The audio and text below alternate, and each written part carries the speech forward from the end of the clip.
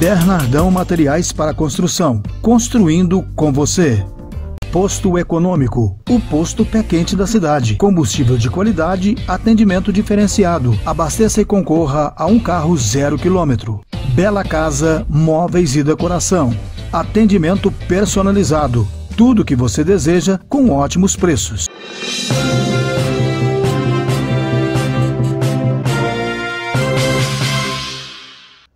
Olá, amigo, está no ar o TV Hoje Notícias da edição desta quarta-feira, dia do meio ambiente. Essa semana nós entrevistamos o Antônio Geraldo falando sobre o meio ambiente de forma geral, né, as decisões do governo federal que está liberando várias coisas e pode prejudicar muito o Brasil, né? vai prejudicar com certeza. E ah, hoje nós vamos destacar esta semana do meio ambiente que começa a ser realizada aqui em patrocínio. O Alain Guimarães, que é o o responsável pela realização dessa semana vai contar para gente como é que é que vai ser realizado, o que que tem, quais são as atrações, a, a conscientização, o que que vai ser feito para para orientação da população. Vamos conferir. Então, a equipe aqui da Secretaria de Secretaria de Meio Ambiente está toda preparada e está movimentando para a segunda semana municipal do meio ambiente. Dia 5 se comemora o Dia do Meio Ambiente e este ano a Secretaria promoveu algumas ações é, durante o mês de maio. E dentre elas foram feitos, estão sendo realizados dois concursos, o concurso de Ecovídeo e o concurso de coleta seletiva nas escolas. O concurso de Ecovídeo, os alunos, são 21 escolas com 8 mil estudantes, e os alunos poderão fazer vídeos até um minuto e meio com temas ambientais e serão premiados. É, serão seis celula celulares, onde primeiro lugar, segundo e terceiro.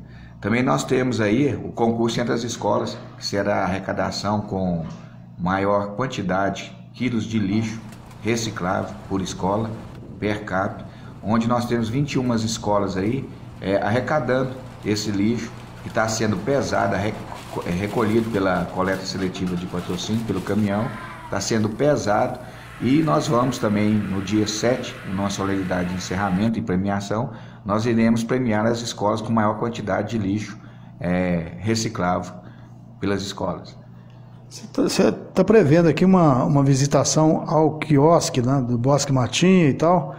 E é até interessante porque a cidade precisa valorizar aquela área, que é uma área é, de, ambiental espetacular dentro da própria cidade. Né?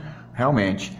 É, dentro dessa semana tem outras ações e atividades. Nós teremos aí no centro da cidade uma blitz educativa com a participação da Polícia Militar, com as ONGs, com toda a equipe da Secretaria Ambiental, é, promovendo a distribuição de, de cartazes, promoção, é, distribuição de panfletos informativos, educativos, para que a população possa cuidar e zelar melhor no nosso meio ambiente.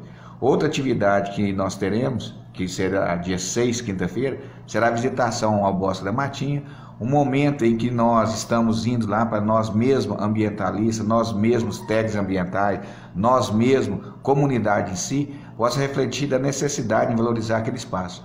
Aquele espaço há anos vem tendo assim que ser protegido, é algo que a gente prima pelo verde dentro da cidade, é um local que a gestão e que o governo municipal tem projeto para melhorar, aquela qualidade ali. E lá, no dia 6, estará sendo feito oficinas ambientais. Teremos a participação do DAEP, com a oficina do DAEP, teremos a Polícia Militar e a oficina de reciclagem das técnicas e fiscais aqui do meio ambiente. Então, nosso intuito é passar, durante essa semana, uma reflexão do meio ambiente, como nós podemos zelar pelo meio ambiente. E a secretaria está empenhada no trabalho da coleta seletiva, que foi o tema principal dessa semana, porque, porque está prestes a ser instalado em patrocínio um aterro sanitário. E o intuito é fazer a coleta seletiva, ou seja, selecionando os, os lixos que podem ser reciclados e não sejam levados para o aterro sanitário. Com isso, o que, que acontecer? A vida útil do aterro será maior.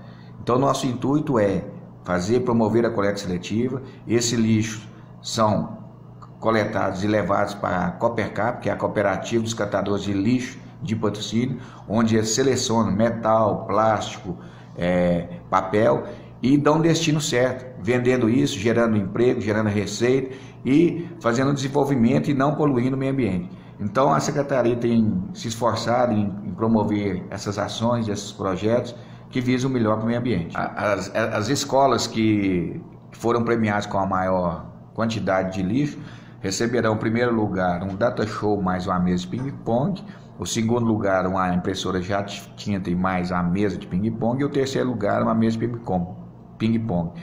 Então, nós estamos satisfeitos com a participação da Secretaria de Educação, a Superintendência de Ensino e a Secretaria de Obras, que deu total apoio a essa realização desse evento.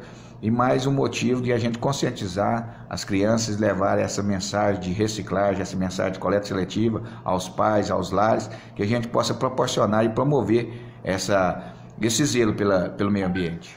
Legal, obrigado aí ao Alan Guimarães e a você sempre ligado aqui na TV Hoje e Rede Hoje. Não esqueça de se acionar o nosso canal, né? de se inscrever, porque é muito importante para nós e para você também, porque você se inscreve, depois vai lá e clica no sininho, aí quando a gente postar um novo material você estará recebendo aí, né? E é lógico, colabora com o nosso canal, que o interesse nosso aqui é cobrir o Triângulo Mineiro, o Alto Paranaíba, patrocínio, né? E todo o, tudo que se refere às notícias, informações, é, cultura, lazer, é, esporte, é tudo aqui conosco na TV hoje, né? Um grande abraço, muito obrigado e até o nosso próximo encontro.